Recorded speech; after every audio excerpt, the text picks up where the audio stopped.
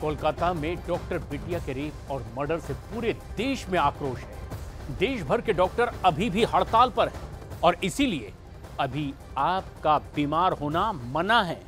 हड़ताल की वजह से मरीजों की हालत लगातार बिगड़ती चली जा रही है।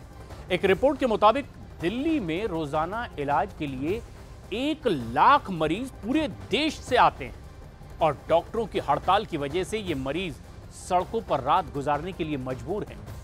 ये वैसे मरीज़ हैं जिनके पास पैसों की तंगी है। और ये तो सिर्फ़ दिल्ली के आंकड़े हैं। सोचिए पूरे देश में अभी मरीजों की हालत आखिर क्या हो रही होगी?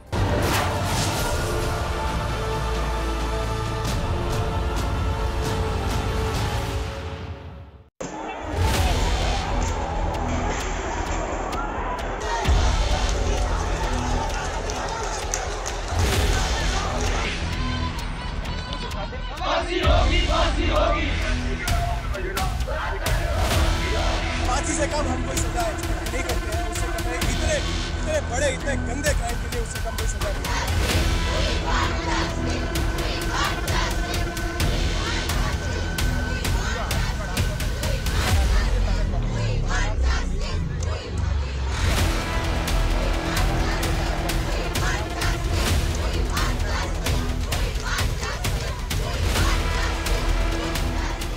दिल्ली, चंडीगढ़। बेंगलुरु, मुंबई, पटना, तिरुवनंतपुरम, सूरत, सिलीगुड़ी।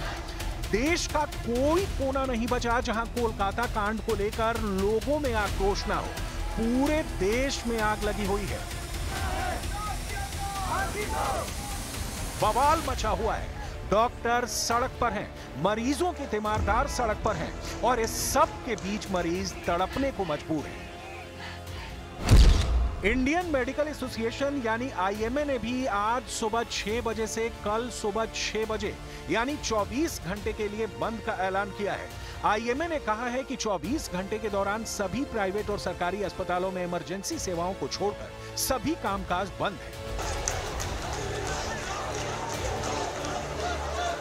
डॉक्टरों की इस हड़ताल का देश भर में ज़बरदस्त असर पड़ा है। सिर्फ़ इमरजेंसी सेवाओं को छोड़कर सब कुछ बंद है।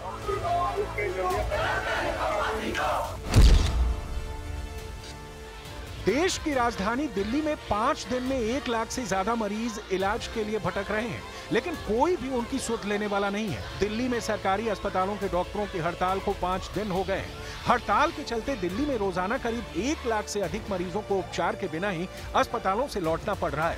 इतना ही नहीं, डॉक्टरों की काम रोको हड़ताल के चलते रोज़ाना लगभग ढाई सौ से तीन सौ सर्जरी भी नहीं हो पा रही है।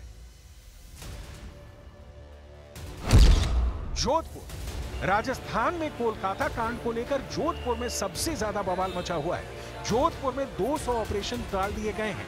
जोधपुर के MDM hospital AIIMS Mahatma Gandhi hospital और उम्मीद हॉस्पिटल में प्लान किए गए करीब 200 ऑपरेशंस को टाल दिया गया है। हॉस्पिटल में भर्ती और इमरजेंसी में आने वाले मरीजों की ज़िम्मेदारी सीनियर डॉक्टर्स पर आ गई है। भोपाल। भोपाल में एम्स के साथ ही मध्य प्रदेश के सभी सरकारी अस्पतालों में सैकड़ों रेजिडेंट डॉक्टरों ने काम करना बंद कर दिया है। इससे राज्य भर में मेडिकल सेवाओं पर असर देखने को मिला। कई अस्पतालों में मरीजों को बिना इलाज के लौटना पड़ा। ऑपरेशन तो छोड़ी, ओपीडी भी बंद है। सिर्फ़ इमरजेंसी और आईसीयू चालू रखा गया है। कर्नाटक, आईएमए की हड़ताल को लेकर कर्नाटक सरकार ने सरकारी अस्पतालों के चिकित्सा अधिकारियों और सर्जनों की छुट्टियाँ सस्पेंड कर दी हैं। स्वास्थ्य विभाग के मुताबिक अस्पतालों में इमरजेंसी सेवाएँ प्रभावित नहीं होनी चाहिए, जिससे लोगों को परेशानी हो। अब जानिए कि आखिर क्या है डॉक्टरों की मांग, जिसको लेकर वो सड़क पर उतरे केंद्र सरकार के सामने आईएमए ने जो डिमांड रखी है, उसके मुताबिक सेंट्रल प्रोटेक्शन एक्ट लागू हो। डॉक्टरों की सुरक्षा हो। अस्पतालों में सीसीटीवी कैमरों की संख्या बढ़े। एयरपोर्ट की तर्ज पर सभी अस्पतालों की सुरक्षा हो। प्रोटोकॉल का पालन हो। कोलकाता की मृत डॉक्टर के परिवार को मुआवजा मिले। यंग जूनियर डॉक्टर्स ये हमारे हाथ पैर हैं। वो लड़ रहे वो अपनी बेटी को बचाने के लिए लड़ रहे अपनी सेफ्टी के लिए लड़ रहे तो हमारा फ़र्ज़ बनता है उनको सपोर्ट करें। तो आईएमए ने एक दिन का विड्रॉल ऑफ़ द सर्विस का कॉल दिया है उनको उनको जोश मिलेगा। और जो हमारी डिमांड है सीपीए की सेंट्रल प्रोटेक्शन एक्ट और safety at the work place वो हमारी मांग है और उनकी भी मांग है। उनमें हमारा सपोर्ट मिलेगा। हमारी डिमांड है हम पिछले तीन साल से आईएमए डिमांड कर रही है कि सेंट्रल प्रोटेक्शन एक्ट होना चाहिए। कहीं अटका है वो तो हमें मालूम नहीं लेकिन 25 स्टेट में 25 स्टेट में ये कानून है protection of the doctors medical professional and hospital establishment but central act नहीं है। तो हमारी विनती ये है कि सेंट्रल एक्ट आएगा तो बल मिलेगा डॉक्टर सेफ्टी से उनका काम कर सके। हड़ताल अपनी जगह है, डॉक्टरों की मांग और प्रदर्शन अपनी जगह है। लेकिन बड़ा सवाल कि आखिर मरीजों की क्या गलती है? दिल्ली में देश भर से मरीज़ इलाज के लिए आते हैं। और इलाज ना होने की वजह से वो वापस जाने को मजबूर है। दिल्ली के राम मनोहर लोहिया अस्पताल में आए मरीजों की कहानी सुनी। डॉक्टर ने वहाँ से हमें भेज दिया बोला कि अभी कोई हमें न्याय नहीं मिलेगा तब तक हम नहीं बैठेंगे। पच्चीसवा नंबर था सबको भगा दिया दो चार देख के कह रहे हड़ताल होके जाइए और अब आप न्यूज़ देख के आइएगा। बोल रहे हैं कि हड़ताल है आज हम लोग नहीं देखेंगे हटाओ ले जाओ कि दवाई आज खत्म हो गया है और उल्टी हो रहा है। इन तस्वीरों को देखिए। ये बिहार की राजधानी पटना के दो अस्पतालों से आई हैं। सबसे पहले देखिए पटना एम्स में मरीजों की बेपसी पटना एम्स में पिछले कई दिनों से ओपीडी सेवाएँ बाधित हैं। ऐसे में मरीज़ भगवान भरोसे हैं। अपना इलाज कराने पूरे बिहार से मरीज़ एम्स पहुँचते हैं। ऐसे में उनका कहना है कि कुछ समझ में नहीं आ रहा। यहाँ पे अंदर घुसने नहीं दिया जा रहा। पूछने पर बताया भी नहीं जा रहा कि कब इलाज होगा। समझ में नहीं आ रहा। जाए तो कहाँ जाए? कहलखिन चौदह तारीख से लगले है ना अब कहिया खुगते ओहो कोई पता नहीं छै। छियै जो बंद करवाइने छथिन जे नहीं घुसैये ले दै छथिन। लड़का को ये गला में बहुत दिक्कत है इमरजेंसी पूरा कुछ नहीं बताता है साफे नहीं साफे बंद है। वहाँ पर उन्हें उधर जाने भी नहीं देता है कि उधर जाएगा। अब पटना के ही बड़े सरकारी अस्पताल पीएमसीएच से आई इस तस्वीर को देखिए जहाँ इलाज के लिए पर्ची तो कट रही है लेकिन इलाज नहीं हो पा रहा है। ये रवि कुमार है। पहले रवि का दाहिना पैर टूटा प्लास्टर के बाद ठीक हो गया लेकिन फिर उसी जगह पर दोबारा टूट गया।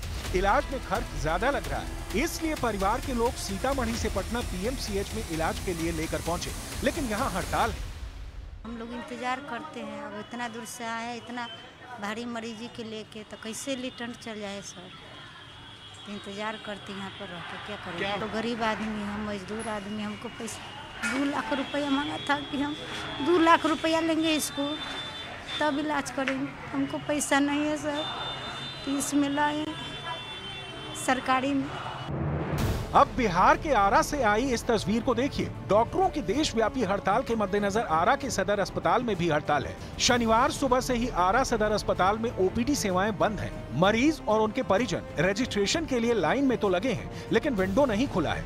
ओपीडी सेवाओं के साथ साथ कई अस्पतालों में इमरजेंसी सेवाएँ भी बंद कर दी गई है। आरा सदर अस्पताल में भी ओपीडी के सभी विभाग बंद है। यहाँ रजिस्ट्रेशन भी नहीं हो रहा है। अस्पताल के बाहर मरीजों को काफ़ी परेशानी का सामना करना पड़ रहा है। आरा में डॉक्टरों की सामूहिक हड़ताल का कहर मरीजों पर टूटा है, जिसमें मरीज़ को इलाज के अभाव में जान तक गंवानी पड़ी है। डॉक्टरों की हड़ताल के कारण आरा सदर अस्पताल सहित कई जगहों पर दिन भर मरीज़ भटकते रहे। सदर अस्पताल की ओपीडी में ताला लटके होने के कारण दूर दराज से आए मरीजों को बिना इलाज कराए ही लौटना पड़ा।